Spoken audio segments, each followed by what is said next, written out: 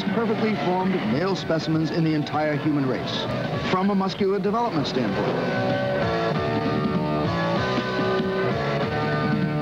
This is Bob Beattie, and today I'll be reporting on this year's Mr. Olympia contest from Columbus, Ohio. The most famous bodybuilder of the past decade, Arnold Schwarzenegger, has now retired from bodybuilding competition, although he's still very much in evidence, displaying the charm and charisma of a champion and the sex appeal which always accompanies a true winner. Years, we've discovered that bodybuilding contests are more than just male beauty pageants.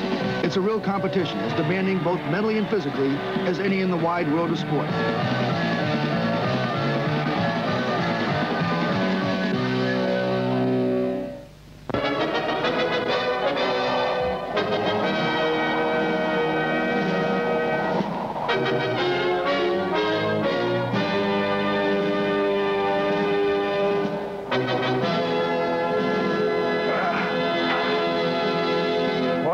Woody Hayes.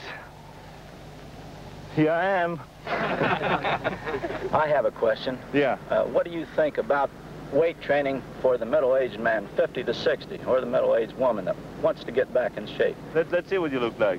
Now look at this guy here. He's around. Uh, do, do a pose. Come on. Do a pose. Don't look at the camera. Good. Hey. Hey, boy. Okay. Yeah, I have a Anything else? Um, Yeah? I'm a dance major here at Ohio State, and I was wondering if you think that, like, the bodybuilding I do would hurt my dancing? No. I've been doing it for quite a while now, and sometimes I feel like it stiffens me up. The combination of weight training and stretching movements is the best thing you can do. If it would make you stiff, I'm sure that uh, the shot putters and hammers... Now, what in the world is the ex-king of bodybuilders, Arnold Schwarzenegger, doing conducting a clinic on the 50-yard line at Ohio State University's football stadium? Well, if you don't know Arnold, he's a 29-year-old Austrian, has won the amateur title of Mr. Universe five times, plus the top professional title of Mr. Olympia six times, all in consecutive years. No one else in recent history has dominated an individual sport so completely. Arnold retired two years ago in South Africa after winning his final Mr. Olympia title. Now he's a film actor, author, lecturer, and producer of the Mr. Olympia contest, being held this year in Columbus, Ohio. Are those lights already set up? No, these lights are set up for the pre-judging. Arnold's the first to admit a relationship between bodybuilding competition and show business. Here and the guy who's It's a combination of physical perfection, style and grace of movement, and mental communication with spectators and judges alike. Uh-huh. From just straight Oh, there's top. one lamp for each guy Yeah, coming down, that's right? And then Reg is suggesting that following that, we give away the three $500 prizes. This year's Mr. Olympia title will be decided in front of a capacity house in the 4,000-seat Veterans Memorial Auditorium in Columbus. Because I have to mob jump up on stage. In the beginning, nobody knows who's the third, fourth, or fifth. so what am I supposed to do? Throw them off? That's why that's why you're the MC this year because you're Oh, the strong see, fellow who's I gonna do all the pushing. I this see. time. Arnold, like all producers, must always find time to listen to anyone with a question. For instance, someone who thinks that he can become a future Mr. Olympia. Judging in the morning, 10, 10.30, whatever. You take a look at me. If I'm not qualified to enter, rub me off. No, How's but that? we, we have to put you we have to put you in a list today because we're putting the program together today. So I think what is the best thing for us to do is just take your shirt off, hit one pose for me. I can give you the okay if you can compete. The whole thing takes one minute. Just the shirt. Take the shirt off. Just need one one quick shot. Good. Hit the lat spread. Okay. In the back. Okay. I I know you trained Sergio Oliva and the whole thing, okay? You explained to me the whole thing, but... Obviously, this young man has the enthusiasm and desire, and Arnold is encouraging, but uh, somewhat non-committal. Well, yeah, but you know, each time you can be in a different shape, and and uh, and I mean, you can be in one year you can be in top shape, the next year can be in bad shape. You know, I mean, it's, uh, That's it, true. just is one of those things. So that's why I wanted to check how, what kind of a condition you're in. The sport, if you will, of bodybuilding has gained tremendous popularity on a worldwide basis over the past few years.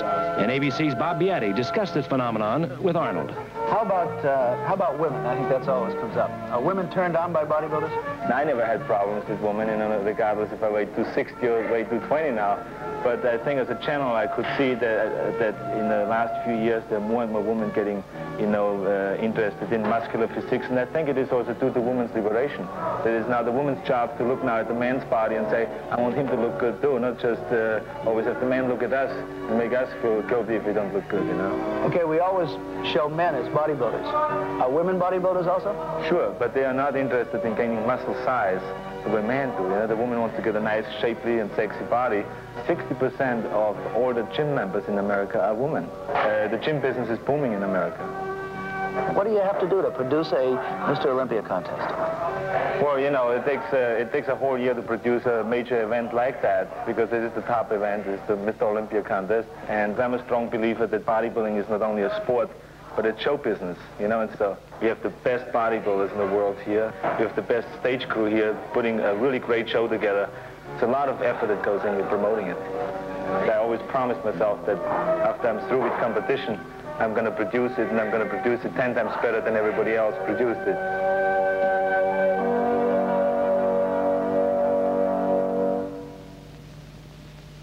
All week long here in Columbus, Ohio, competitors for this year's Mr. Olympia title have been toning up their bodies in local gymnasiums.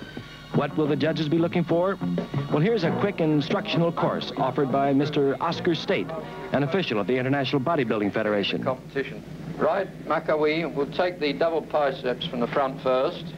Here, of course, we're not only looking at the biceps muscles, but the way he controls the front trunk muscles. In particular, the ability to contract the abdominals from the front. Okay, thank you. Now the lat spread. Now here, we are examining the back muscles as they appear from the front, because in this position, they should give the V shape which bodybuilders try to get on the trunk. Right side chest. Now here again we're looking at the biceps and the arm muscles from the side to get a silhouette effect of them and also at the chest in particular again the pectorals are seen from the side. Now we have two poses from the back, double biceps from the back and here not only the biceps but the whole of the shoulder structure and the one leg back gives us a look at his calf muscles too which are also important. Right, now the lat spread. Now here you see what we mean by the V shape. Right, turn again and let's have the triceps pose. The triceps, the big three-headed muscle at the rear of the arm. So that all major muscle parts are seen by the judges in the compulsory poses. Thank you, Makkawy. Thank you. The scene now shifts to the huge Veterans Memorial Auditorium, where prejudging on the event took place earlier. Seven judges studied the contours and muscle development of the contestants. Symmetry and proportion are the key to success in bodybuilding, and these men have lifted weights year after year after year to attain the proper proportion. One of the top favorites for this year's championship is Frank Zane. Five foot nine, 35 years old, 199 pounds. A math teacher from California. He's got tough competition from Robbie Robinson, 5'7", 31 years old, over 200 pounds, and a former Mr. Universe and Mr. America. Robbie's a commercial artist from California. A third leading contender is veteran Ed Corney, 43 years old, 5'7", 172 pounds, another former Mr. Universe and also a Californian. After prejudging is completed, six finalists are selected. And here they are. Take a good look as they pose individually for the judges. First on the stage, stepping out into the spotlight is Ed Corney.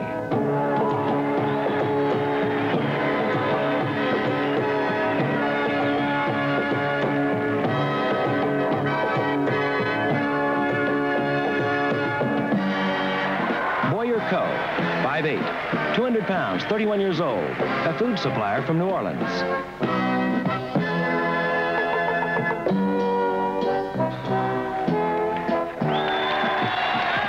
This is Ken Waller, six feet tall, 235 pounds, a former Mr. Universe, and one of the better known bodybuilders. And now, Dennis Tinerino, six feet tall, 216 pounds, a former runner-up to Arnold Schwarzenegger for the Mr. Universe title. Another look at Robbie Robinson.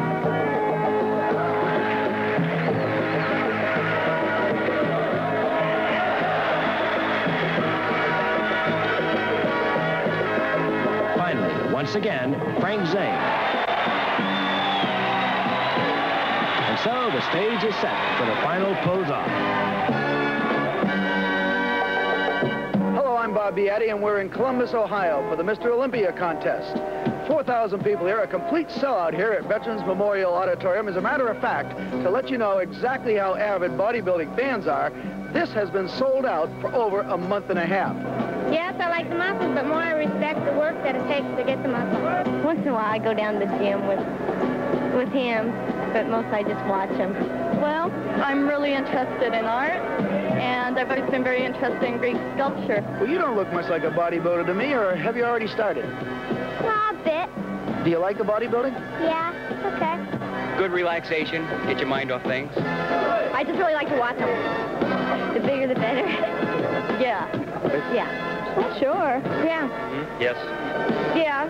Well, how about the big muscles? Do you like those too? Of course I do. Thank you very much. You're welcome. Thank you. Here in Columbus, Ohio, it's time to begin the final pose down for the title of this year's Mr. Olympia. The moment the audience has been waiting for. Most of the spectators are bodybuilding enthusiasts.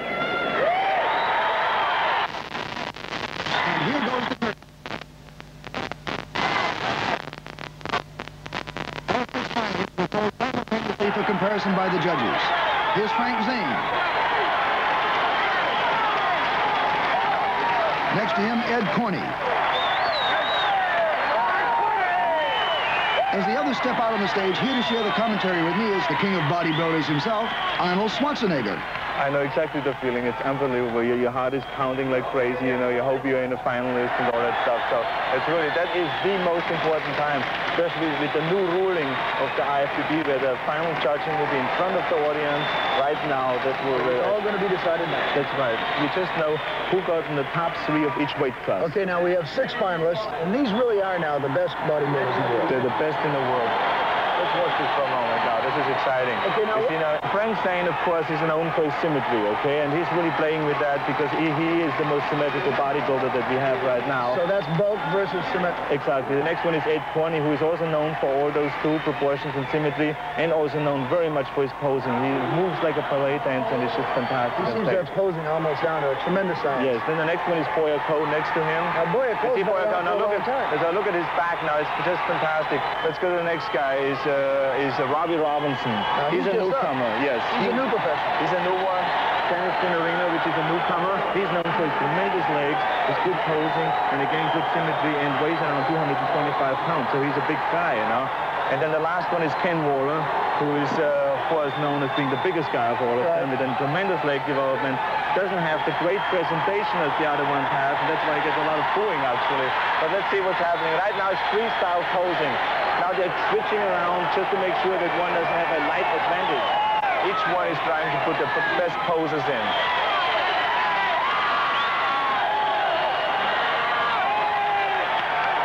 Does it bother them getting up and posing in front of so many people, or is it something they really look forward to? You look forward to a lot of guys get embarrassed in the beginning and lower categories, you know, like Mr. California or so. But when you get to the Mr. Olympia, you train for 10 or 15 years, and you're happy to go out there and show what you have, that, that you have produced from 10 or 10 or 15 years.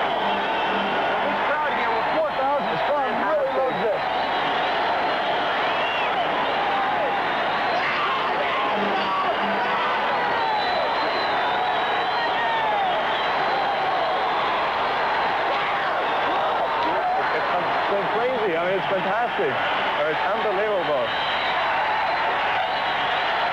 Frank Zane, of course, tries to move very gracefully to just show to the judges that he is the king and, you know, he's been promoting himself as the king all along this year.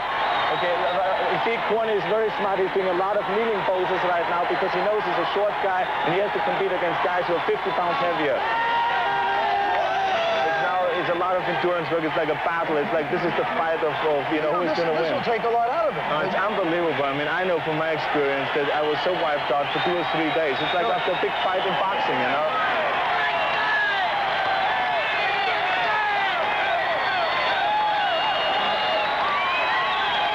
Oscar State has asked them already three, four times to get off the stage, and they're not leaving the stage. They want to make sure that they are the winners. The guys don't give up. Everybody thinks whoever hits the last pose uh, is going to be the one that is noticed the most and is going to be the winner. So they're, they're not going to give up. I mean, the, the, there's fantastic what's going on over there. It's unbelievable.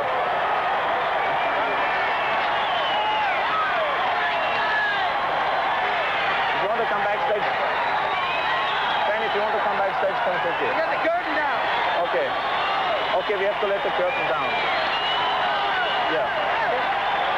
Let the curtain down.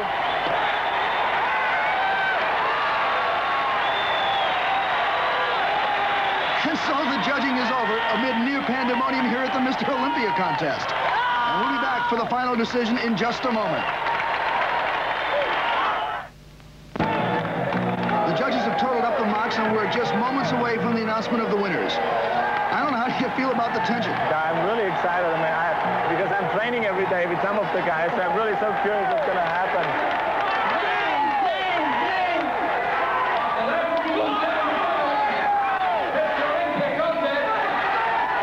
Okay, here comes the announcement. Ken Waller,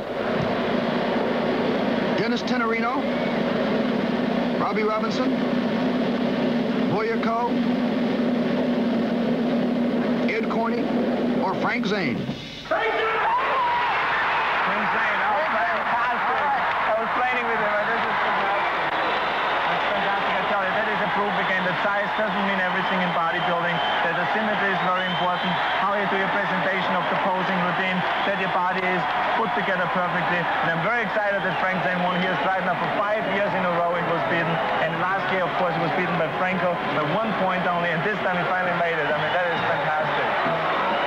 In second place, that's Ed Corney. And in third place is going to be Robbie Robinson. Robbie being congratulated by runner-up Ed Corney. And here, the new Mr. Olympia. Frank, congratulations to you. Fantastic. Great going. We've watched you in a lot of these, and uh, this is the moment you've been waiting for. Oh, yeah. After all these years, it's really great to win what I've been after for so long. How many years you been training for this? Well, I've been training 21 years. For this show, I've been training since, oh, 1972 was the first year I entered it. And you had a lot of fellows that were a lot bigger. Tough competition out there. Yeah.